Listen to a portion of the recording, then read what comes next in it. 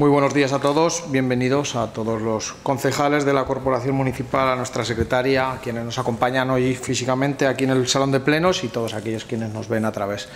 del medio de comunicación de la comarca para la celebración de este pleno de carácter extraordinario con dos únicos puntos del orden del día. Y yo, pues bueno, lo primero que quería hacer y dado la situación crítica que se vivió en el día de ayer en este municipio con tres eh, dos conatos de incendio y un incendio que se produjo en la partida del Enciscar, en el que se quemaron 4,8 hectáreas, pero que también hubo otro en Los Royales y hubo otro también en la carretera Andorra. Lo primero que quiero hacer es eh, agradecer eh, el esfuerzo, la colaboración, la rapidez del servicio 112 del Gobierno de Aragón, de la Diputación Provincial de Teruel, la rapidez con que actuaron, puesto que siendo las 8 de la tarde cuando se declaró, eh, la multitud de llamadas de los vecinos que se pusieron también ya en contacto directamente a través del 112, pues la verdad que tuvimos suerte, tuvimos suerte porque de, haberse sido un cuarto de hora más tarde, un poco más tarde, pues el helicóptero ya no habría podido trabajar, realizar su labor y la verdad es que en ese paraje tan mm, especial ¿no? para todos los calandinos, la zona del Pinar, del Monasterio del Desierto, pues la verdad es que podíamos estar hablando de una catástrofe eh, de grandes dimensiones. Por eso yo quiero agradecer sobre todo a la ley transportada de, Alcorisa, de Peñalba, eh, a las tres autobombas que se dirigieron allí con gran rapidez. Gracias por, también por, por el concejal delegado de Agricultura que fue quien los trasladó allí de forma rápida y sobre todo, como digo, pues agradecer en ese caso pues la activación rápida desde el Gobierno de Aragón para proceder eh, al apagado de ese fuego. Asimismo también pues quiero agradecer sobre todo pues eh, las múltiples llamadas de vecinos del municipio que nos llamaron pues a las personas del equipo de gobierno, agradecer también a los alcaldes de la zona que se pusieron en contacto también con nosotros, agradecer también eh, a otros grupos políticos que también eh, se pusieron en contacto y nos llamaron pues, para prestarnos todo su apoyo, su colaboración, que, en ese momento pues, eh, era poca, sino pues, esperar ¿no? a que los servicios técnicos pues, procedieran con rapidez a al apagado del fuego, así que como digo, pues eso, mm, un día que, hubo multitud de, que cayeron multitud de rayos eh, de esa tormenta seca y que como digo pudo ser una catástrofe para el municipio, pero que gracias a Dios y sobre todo también, pues luego también apoyados por, la poca lluvia que cayó, pues también hizo que, el fuego se controlara pues a la mayor brevedad eh, posible. Eh, así que sin más pasaríamos al primer punto del orden del día, aprobar la modificación presupuestaria número 2 2024, transferencia de créditos, mercados sostenibles, expediente 861 2024 y para su explicación tiene la palabra la señora secretaria. Gracias. Visto que con fecha 5 de agosto de 2024 se presentó propuesta en la que se argumentaba la necesidad de tramitar un expediente de transferencia de créditos, Visto que este 5 de agosto se emitió memoria de alcaldía en la que se especificaba la, modalidad de modificación del crédito, la financiación de la operación y su justificación, visto el informe jurídico sobre la legislación aplicable y el procedimiento a seguir, visto que con fecha 6 de agosto se emitió informe de control permanente sobre la modificación de créditos e informe sobre la estabilidad presupuestaria, visto el informe, propuesta de resolución y el dictamen de la Comisión de Hacienda, de acuerdo con el artículo 177.2 de, la, Ley Reguladora de Haciendas Locales, eh, se, propone el siguiente acuerdo. Primero, aprobar inicialmente el expediente de modificación de créditos 2-2024 con la modalidad de transferencia de créditos entre aplicaciones de distinta área de gasto, como, como sigue a continuación. Baja en aplicaciones de gastos. En la partida de otras infraestructuras hay una baja de créditos de 36.858,8, quedando crédito final 375.442,20. En la partida de gestión de residuos hay un alta de 25.111,16, quedando crédito final 149.652,90 y en equipos para procesos de información hay un alta de 11.746,92, siendo el total de las dos, de las dos altas 36.858,8. Eh, segundo punto, exponer este, este, expediente al público mediante anuncio inserto en el tablón de dictos del Ayuntamiento en el Boletín Oficial de la Provincia por el plazo de 15 días, durante los cuales las personas interesadas podrán examinarlo y presentar reclamaciones ante el Pleno.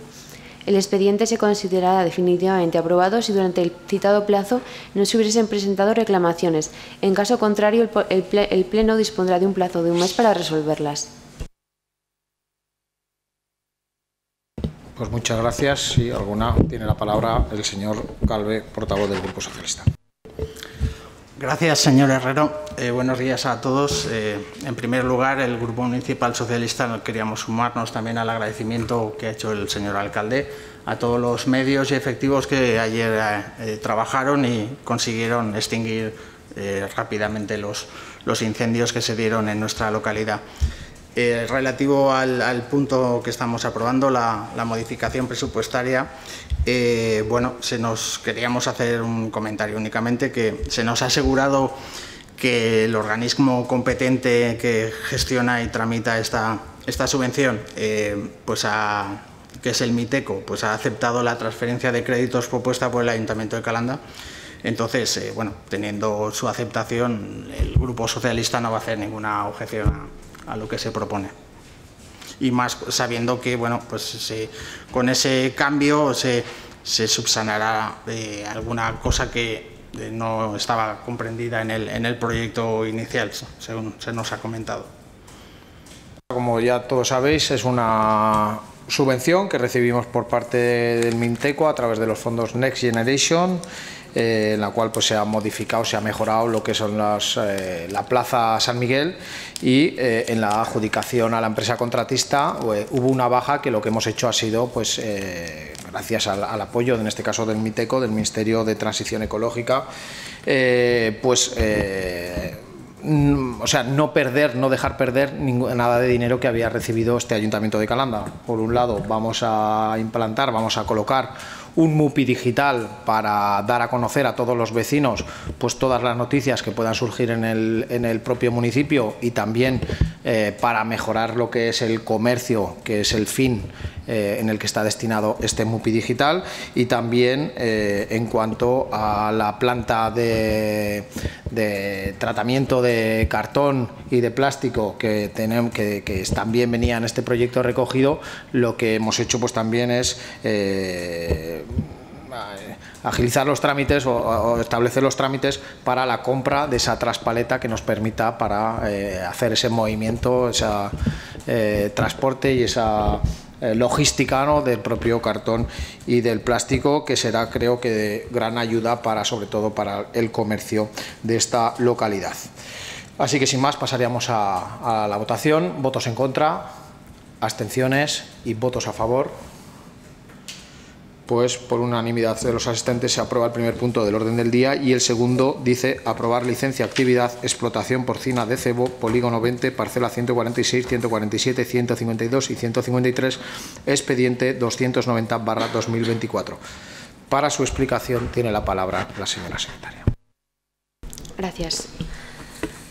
Dada cuenta del expediente que se instruye a instancia de don Pedro Milian Bug en nombre propio, solicitando licencia para ejercer la actividad de explotación porcina de cebo para 1.999 plazas, a ubicar en el polígono 20, parcela 146, 147, 152 y 153. Resultando que durante el periodo de información pública no se han presentado alegaciones Considerando el carácter favorable de los informes emitidos por la arquitecta técnica municipal y por los servicios veterinarios del Departamento de Agricultura, Ganadería y Medio Ambiente del Gobierno de Aragón en Alcañiz, se propone el siguiente acuerdo. Primero, informar favorablemente la solicitud de licencia ambiental de actividad clasificada para la instalación de la actividad de explotación porcina de cebo para 1.999 plazas que se desarrollarán en el polígono 20, parcela 146, 147, 152 y 153 formulada por don Pedro Emilian Bug, según el proyecto técnico redactado por el ingeniero técnico agrícola don José Ángel Pérez Vélez, dado que el emplazamiento propuesto y demás circunstancias sí que cumplen con la planificación urbanística vigente, las ordenanzas municipales y lo dispuesto en la Ley 11-2014 de 4 de diciembre de Prevención y Protección Ambiental de Aragón. Segundo, dadas las circunstancias de la actividad, se acuerda que se adopten las siguientes medidas correctoras, las que figuran en el proyecto. Muchas gracias, señora secretaria. No. Bueno, pues eh, aquí lo que venimos es a, aprobar una licencia de actividad, de una nueva actividad económica que se propone aquí en el municipio, que ya son muchas las que, las que se, están, se están proponiendo. Y bueno, yo eh, como ayuntamiento y como equipo de gobierno lo que hacemos o intentamos es facilitarle, siempre que cumplan todas las condiciones técnicas y medioambientales, eh, pues todo aquello que toda aquel persona que quiera implantar un proyecto económico, pues intentar ayudarle este cumple en principio todas las condiciones técnicas y medioambientales, por lo tanto, nosotros como tal eh, nos alegramos de que esta persona en concreto pues, eh, haya traído aquí una nueva licencia de actividad para desarrollar en el futuro. Así que sin más pasaríamos a la, a la votación. Votos en contra, abstenciones, votos a favor. Pues también por unanimidad de los asistentes se aprueba el segundo punto del orden del día. Eh, pues bien, siendo este un pleno de carácter extraordinario, ya no hay, no hay más puntos. Eh, desearos pues agradecer a todos que habéis, eh, concejales que habéis venido a, este pleno agradecer a quienes nos ven en la comarca y sobre todo, pues ya que estamos en días prefestivos, pues también desearles a todos quienes nos ven a través del medio de comunicación de la comarca, pues que pasen unos días lo más agradables posibles dentro de la fiesta del respeto y de la consideración a todos los habitantes y vecinos del municipio. Así que sin más, finaliza la sesión. Muchas gracias.